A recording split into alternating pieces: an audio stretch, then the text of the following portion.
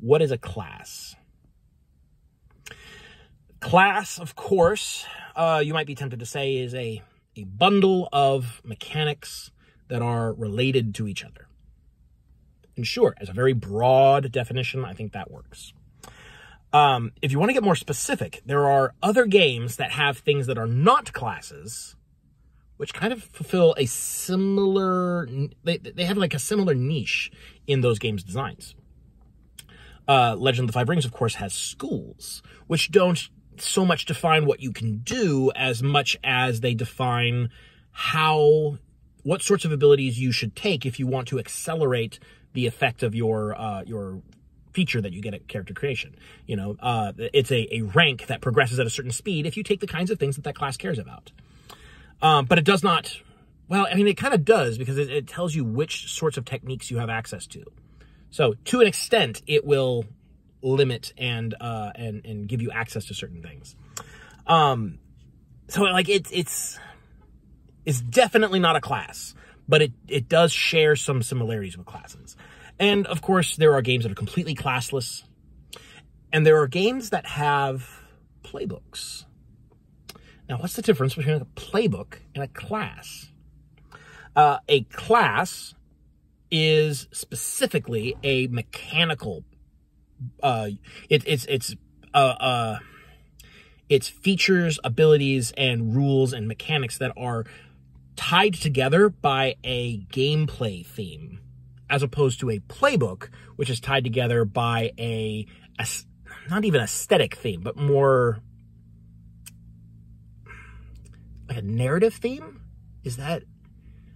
I'm not sure how. I don't know that I have necessarily like a, a easy, pithy, quick, uh, uh, concise way to describe it. Um, let me give as an example.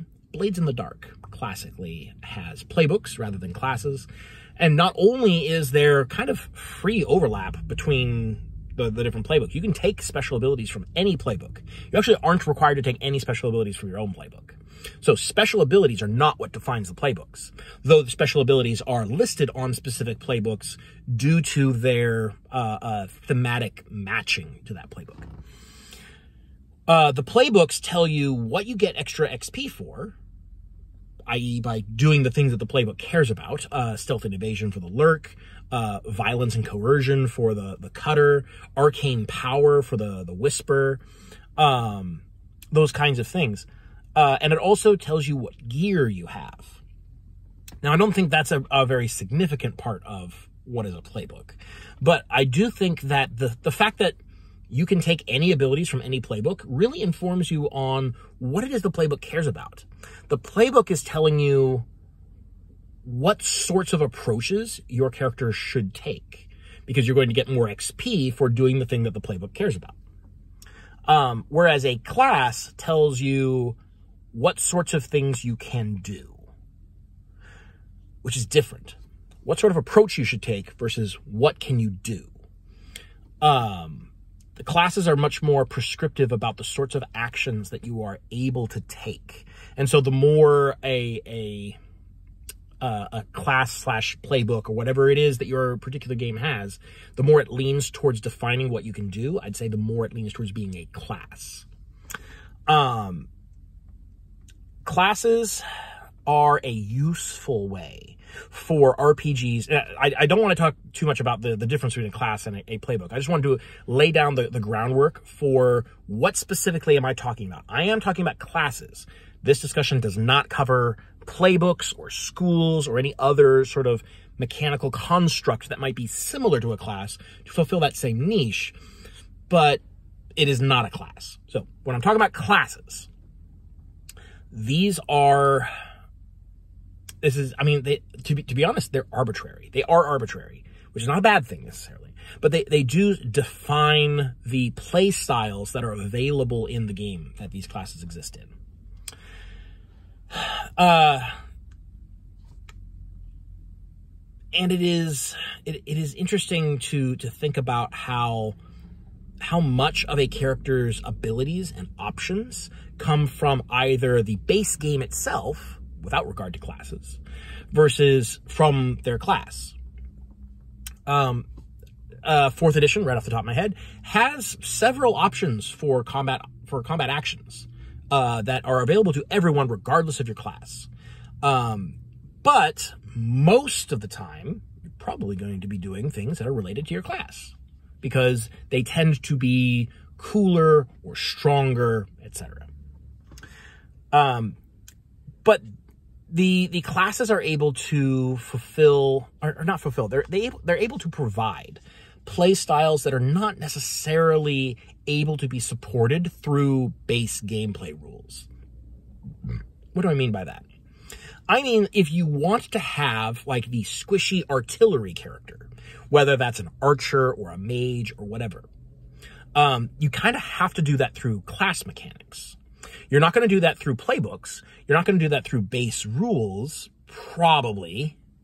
I could see I could see someone trying. You're probably not going to going to do it that way. Um, you're going to do it through through class mechanics, um, because classes tend to define like health amounts and and what sorts of abilities you have. Um, you know, are you really artillery unless you have like an ability that increases your damage at range? You know, I think that's kind of required to call yourself artillery. At least as a character concept. If if all that makes you artillery is the fact you've picked up a range weapon and are using it, I think that is a very poorly supported character archetype, and it, it doesn't really feel special to me. And I would not describe the class as artillery. The character might be. Um, and so classes have to, ha they, they, well, I guess they don't have to. We have seen from fifth edition, they don't have to have strongly defined identities, but they should. And here's what I mean by this. When I did my video on how I would redesign the Bard, I talked about really leaning into the musical aspect of the Bard and taking ideas from musical theory and musical composition and incorporating them into the class as features that are evocative of that idea. And I said, I think that the Bard should be a specifically musical class and not just any performance uh, but like specifically music, so that you can use these mechanics that are evocative of that idea. And I got a lot of feedback from people saying that the bard shouldn't be purely music. It should, be, you know, that's that's too restricting. We don't want to restrict people into you know, doing the specific concept that you have. And like, okay, but if you don't restrict players at all, then you don't really have a class idea, do you? there's no, there's not going to be unifying mechanics for complete freedom, right? There's, that's not a class. You can make a classless system where everyone has complete freedom, or you can have classes with defined identities. Trying to do both will accomplish neither. And as it happens, there is no ability to make a class that evokes the, the kind of like music-based magic without having it be restricted to that style of flavor or that that that kind of flavor. I feel like I'm rambling a little bit here. I'm going to try to get back on track. Mmm, center.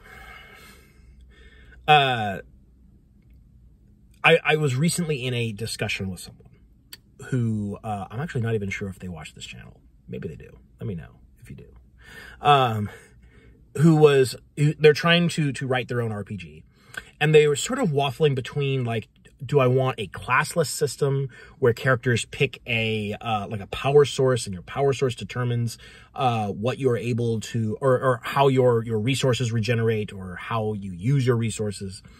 Um, but then like it's it's classless, so you're you're like you know buying mechanic or buying features with XP or whatever. I, I don't I don't know that we even got into like the idea of exactly how characters progress, but there was this this idea that you would have access to spells uh, or a list of abilities. I guess they're not always spells. Um, and then uh, uh, you pick them the same. Like everyone picks the same lists of spells or abilities. Let's call them powers. Let's call them powers. Uh, everyone has access to the same list of powers, but they recover their like slots and their their, their resources differently depending on what uh, power source you have. And I pointed out that like this is go first off, this is going to make a lot of very samey feeling characters because everyone has access access to the exact same stuff. Um, the whole point of classes is to increase the uniqueness of characters by separating mechanics from each other saying this bundle of mechanics is good together. This bundle of mechanics is good together. But to cross through, like maybe there's a way to, to multi-class or cross-class or whatever your system has, but it's not going to be as convenient and ideally not quite as good as just sticking with your, your one concept. If multi-classing becomes better than single classing, I think you've done something wrong. Uh, unless you're in a game like uh, Fabula Ultima, where multi-classing is like practically mandatory. Uh, actually, it is mandatory. It's not, not practically mandatory. It's completely mandatory. You have to have more than one class uh, at character creation. It's not allowed. You are not allowed to not. Um, that's a, that's a whole different thing. But I mean, actually, so let's talk about that. Fabula Ultima has a, a wholly different approach to class structure than uh, D and D. Um, for them, like it's for, for one thing, it's not linear. You don't have to start at the beginning of the class and go to the end. Uh, you just sort of pick any ability off of the class that you're taking a level in. Um, that's, I mean, it's still a class because every class in Fabula Ultima has mechanics that push you towards a particular playstyle. Uh, whether it's like taking damage to fuel up your abilities, casting spells to disable enemies, those kinds of things. They also have like narrative themes, typically, but those are pretty light. Um, I'm I'm fully losing track of what my point is. I think okay, so my original point is you kind of have to choose when you are designing a game. This is this video is for game designers. I'm saying right at right near the end. this video is for game designers uh, when you are creating a game, you kind of have to decide if you want to have characters with a lot of freedom for how to build the characters, or if you want to have characters that have strongly defined identities. You can't have both. They are mutually exclusive ideas. But if you're going to go for classes, what you should do is have those classes have really strongly defined identities. It's kind of why I get annoyed when people say that like the fighter needs to be like equally good with all weapons. Like don't make the fighter primarily melee. That's restricting people's concepts. And like as long as you have a ranged fighter type character, why should the fighter have to be spread out amongst like lots of different like the idea of an archer and the idea of like you know uh, a sword and board character versus the idea of like a great weapon fighter like these are all different concepts. These are different archetypes like character archetypes that can exist in your head at once. They are separate. I think it's not unreasonable to expect them to be different classes. In d&d they are of course the same class because of tradition. Uh, i don't think that's necessarily healthy. I don't think it's necessarily uh, uh, it's not evocative of any particular fantasy. Uh, and so it's frustrating to me when people try to design games and and they they want to they want to have classes for all the benefits of the class, which is you know your your bundle of identity, your your uh, your your collection of mechanics and play style. Like a like classes should have a built-in play style. They want that, but then they also don't want to restrict it too much because that's telling someone how to play. So then they loosen it up. And now you have this sort of like loosey-goosey, poorly defined class that doesn't really push the player towards any particular play style. And then you're left with a mess. And you're left with the kind of thing that 5th edition does. Um, with regards to a lot of its classes. A lot of a lot of fifth edition wants its cake and wants to also eat its cake. Um, and that's, and that's what you end up with. Uh, I've gone on a bit long, as you can tell. Uh, so we're going to cut it off there. I, I, I don't know if I have more to say on this. There, there might be a part two to this. I don't know. We'll see.